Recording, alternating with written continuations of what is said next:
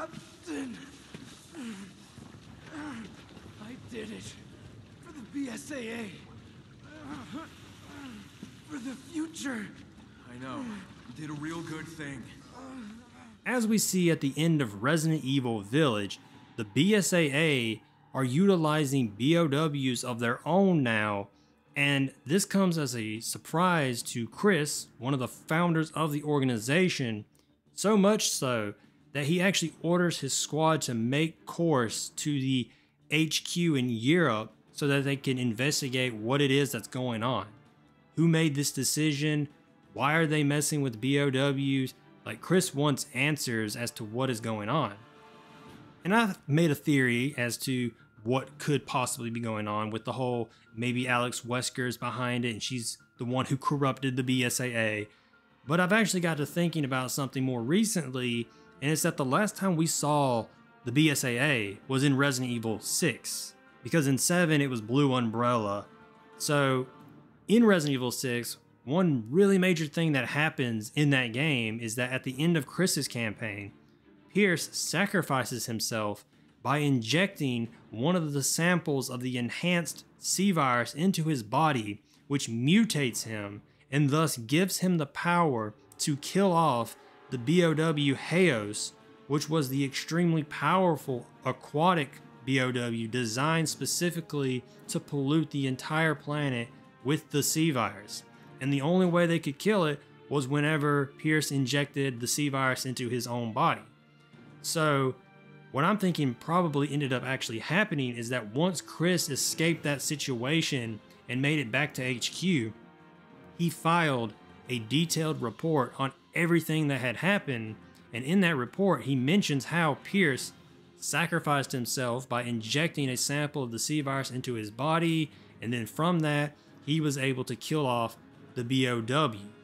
And I think what ended up happening is that from that report, higher ups at the BSAA read it, and then they came to the conclusion that if Chris Redfield, literally our best guy we have, can't kill BOWs with conventional weapons now, that they have to look into something else because BOWs are only going to get more advanced as time goes on.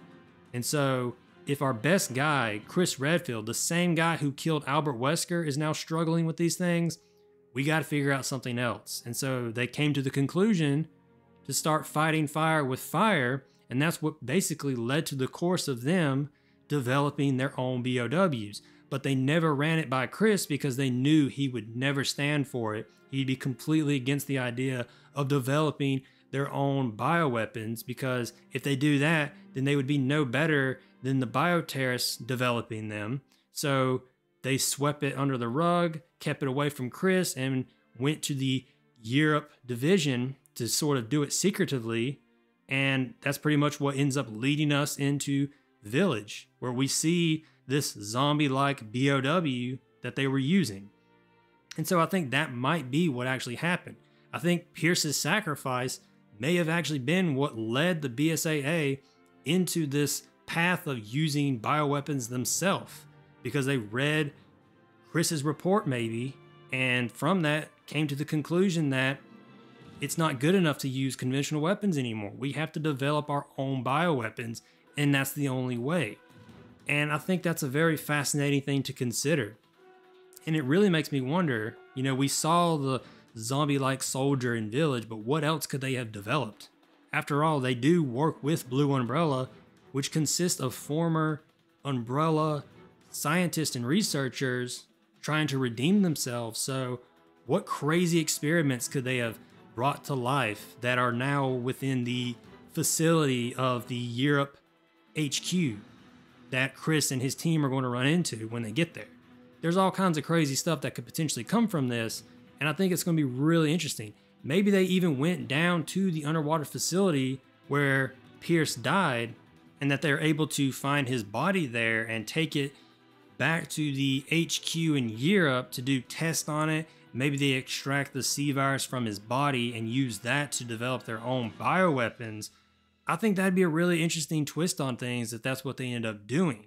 Because Piers made the sacrifice for the BSAA, for the future, but then it turns out that that future is a future of corruption because his decision ends up leading the BSAA in developing their own bioweapons to combat other bioweapons. And it would be something that Piers himself would be against. It's definitely something that Chris would be against, which is why he was never aware of it. And I think it'd be a huge moment. I mean, imagine the emotion that Chris would feel if he were to go to the Europe HQ branch and see either the body of Piers there or files and videos detailing that they found his body and extracted the C virus from it. And that's where they ended up creating all these bioweapons. Like, there'd be so much rage by Chris from that. And I think it'd be really cool. I mean, there's a lot of potential with that, but what are your thoughts? Do you think it's plausible that Piers's sacrifice in Resident Evil 6 is what led the BSAA in eventually creating their own bioweapons within Resident Evil Village? Let me know your thoughts in the comments. I'm going to go ahead and wrap up this video here, and I will see you all on the next one. See you then.